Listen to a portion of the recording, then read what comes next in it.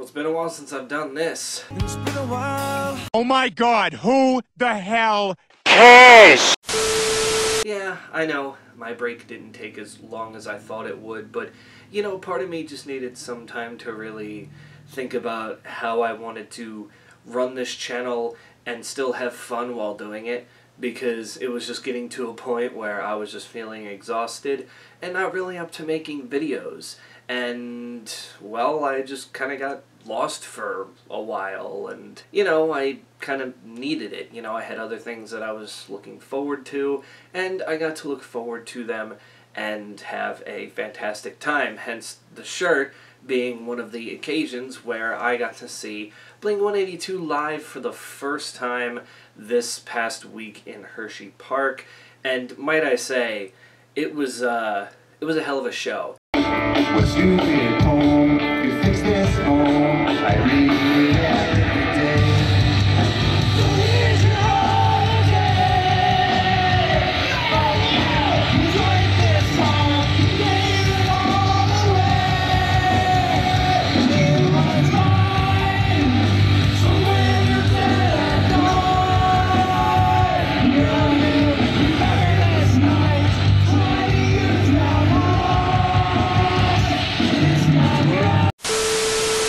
Supposed to see them back in 2017 when they were going to tour with Linkin Park. That was also supposed to be in Hershey Park, but 10 days before the concert is when Chester Bennington uh, took his own life, and of course, that show got canceled.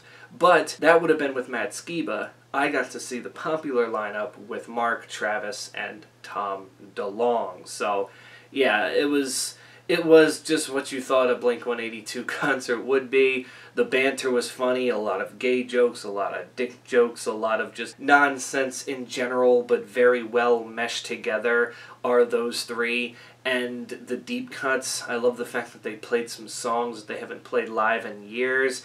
Aliens Exist, Anthem Part 2, Violence, Reckless Abandon, just to name a few. Dysentery Gary they also played live. And of course, they played the hits because, well, they had to. And even the new song Edging is one of the songs that I think is slowly growing on me because hearing it in a live setting, it definitely is a lot of fun and I cannot wait for the new album that is supposedly coming out in October as well. So that was uh that was great. Plus the openers, White Reaper was good, and Turnstile, wow, they can really put on a show. I'll tell you that. They didn't even feel like an opener. They felt like a co-headliner. I mean, it was just it was crazy. I will say their lead singer has a lot of energy. I don't know much from Turnstile, but they had a lot of good songs. To me, it kind of sounded like Green Day and Rage Against the Machine if they were to come together and collab somehow. Like, I don't know, just had that aggression of Rage Against the Machine, but that punk feel of what early Green Day sounded like. Sometimes I get myself the creeps.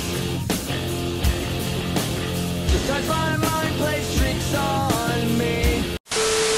And of course, me and my buddy hung out at Hershey Park as well, going around, riding the rides, taking the, you know, Chocolate Factory tour, all that stuff. We got those uh, Fast Pass bracelets so we could, you know, skip the line and get on roller coasters because if we didn't get these Fast Passes, we probably would have only been able to get on two roller coasters with some of the wait times that we had. So, you know, one thing we learned is we're bad at planning things, but we end up figuring it out as we go along. I did have trouble with the tickets, but we got things figured out. Don't worry. We we did okay and we are feeling a lot better. Another highlight of that day was I actually saw Blink 182 in person. At least two of the three members, and I didn't really interact with them because you, you, you couldn't. I mean, they were walking around the park. I'm assuming they were going to ride some rides and stuff like that.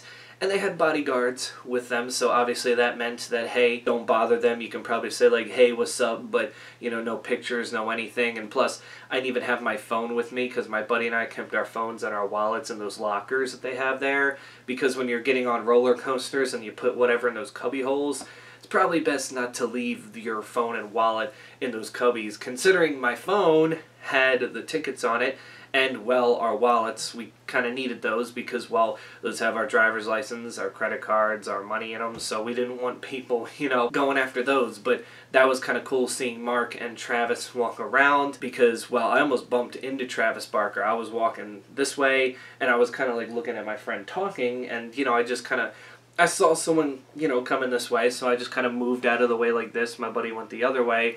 And as I'm walking past, who I think is just this regular person, I look back and I go, That's Travis Barker! I look like Bruno Mars when he's looking back at Pete Wentz. I, I looked like that meme. I was like, Travis Barker? Wait a minute, like he was that hard to miss. And apparently, we were close to them earlier as well as we were walking around the park. That just is what it is.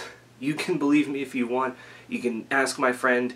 He was there too. We saw him, and that was that. I thought that was pretty cool. That you know to even be that close to them was not even on my mind that day. We're not worthy! We're not worthy! But anyway, enough about that.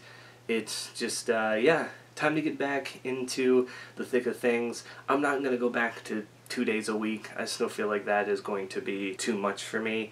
I'm going to try every Friday, but it could be like every other Friday or something like that. Like, I'm still not sure, but I know that I want it to be Fridays. That way I can, you know, start the week with making the video, having time to edit, and have it ready by the end of the week for you in particular. But other than that, that is it. That's where I've been. That's what I've been doing. And I've just been trying to, you know, figure things out elsewise because these past couple of months have been, you know, a little little rough in, in places, but you know, we're slowly getting back into things and, you know, feeling more confident. So that's probably um, you know, a good thing right now. So, yeah, that's it for me. Stay safe out there. And until then, I will catch you all in the next one.